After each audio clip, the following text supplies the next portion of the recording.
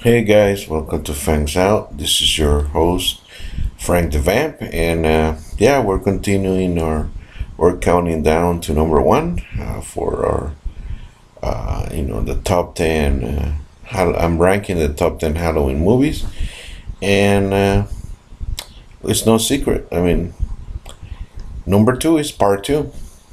Um, Halloween, t- uh, Halloween 2 was the. You know, very hyped um, sequel from the classic.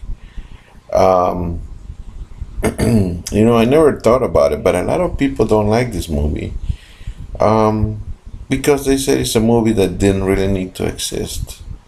They love how the, the first one was so stylish. So let's just face it, Halloween, the first Halloween is, is, is one of the best horror films of all time.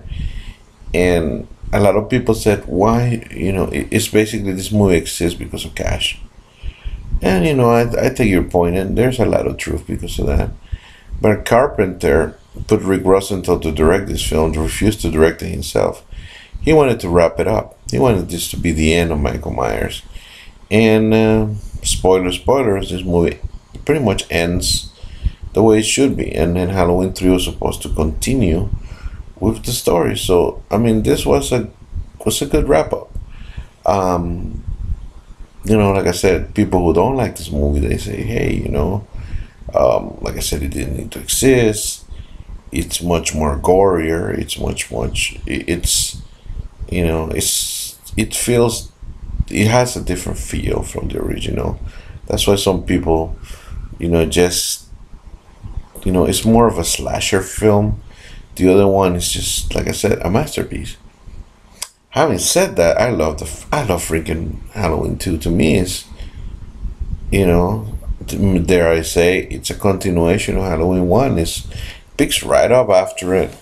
Uh, you know, you got the original cast. It's very weird to get the same chemistry, but this is not just the same chemistry. You know, with Donald Pleasence and, and Jamie Lee Curtis.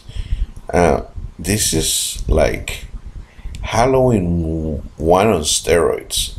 I love the extra gore. I love the you know more action pack. I love the fact that you know even though yes he has pretty much a simple plot. You know him coming after at the hospital, and just the brutality. You know, you know the the blood tears at the end. Uh, Donald Pleasence, you know, taking his own life and and and suiciding you know, to kill Michael, you know, kind of taking him with it. Very gutsy, very what the, the Dr. Loomis character would do.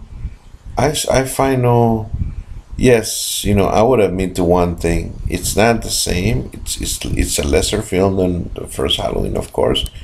But to me, it feels like, it just, it feels like this was, this would have been a, a nice three to four hour film it's almost like watching Kill Bill and Kill Bill 2 from Quentin Tarantino.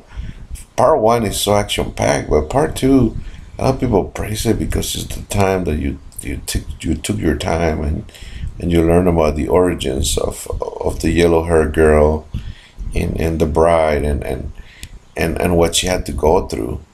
Um, imagine this would have been reversed. That's that's what I feel like.